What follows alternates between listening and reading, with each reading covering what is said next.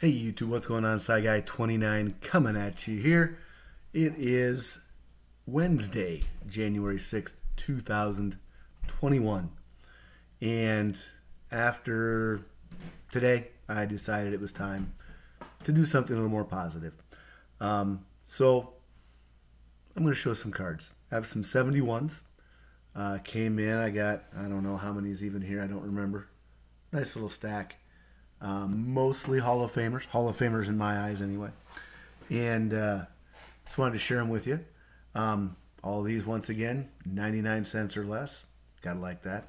They're not beautiful in the sense of I'm not going to grade them, but certainly good looking cards for my collection. So, um, one of the things I really with this group is got a lot of the leaders cards, and almost all of them have two, if not all three Hall of Famers pictured. So kind of cool. First is a uh, home run leaders in the American League. So you can see there we got Frank Howard, Harmon Killebrew, and Carl Yastrzemski. Uh, didn't realize till today just how good a year uh, Yaz had in 70. It was pretty good. He had uh, hit 40, 40 home runs.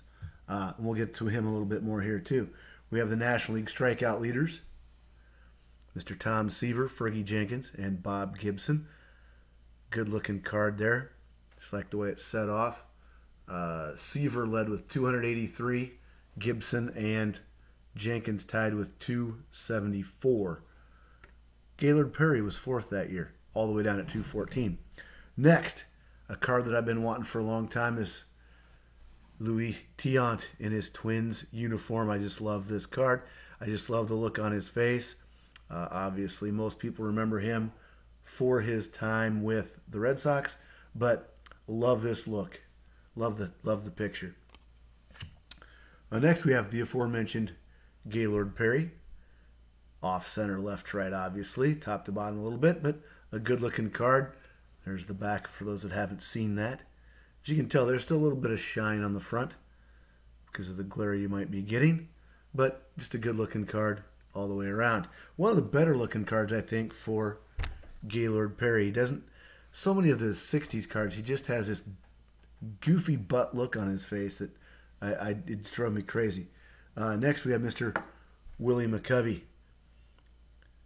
Big, powerful guy. Played for the Giants mostly, a few other teams later in his career. But uh, love love the McCovey card. Uh, next, we have a personal favorite of mine, Mr. Jim Kaat. Great pitcher for my Minnesota Twins in their heyday. Uh, this next card is one as I was looking through getting ready for this video that um, I looked at the top and who was the American League batting champ in 70. And it was someone I'd never heard of before. I got to be honest. And if I had, it didn't ring a bell. And that's Mr. Alex Johnson, uh, pictured with Tony Oliva and Yastrzemski. Now, earlier I said Yastrzemski hit 40 home runs. He also hit uh, 329 that year. Finished second uh, by like three tenths of a point to Alex Johnson.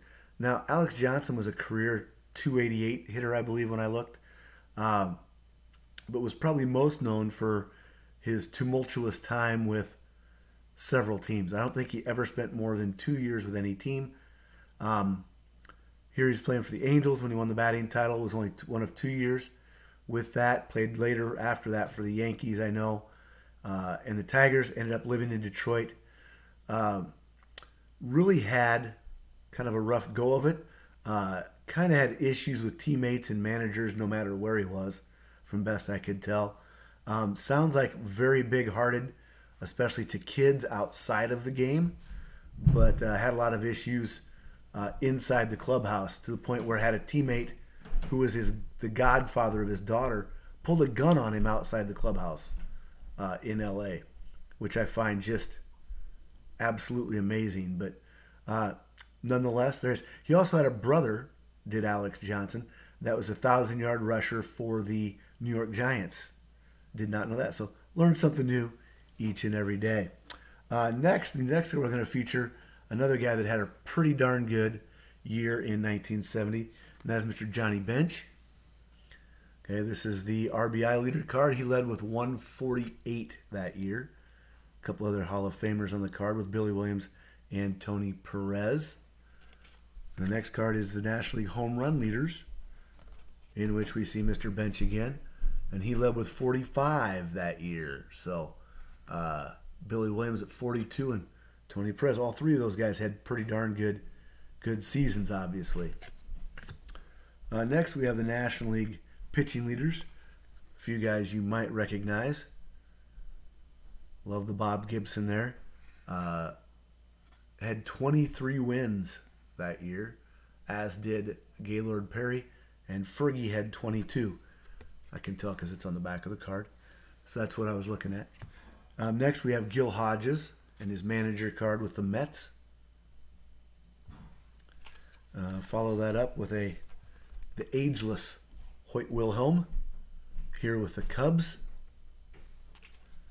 Uh, speaking of the Cubs, we have Mr. Fergie Jenkins. And another one of my favorites, Mr. Tony Oliva.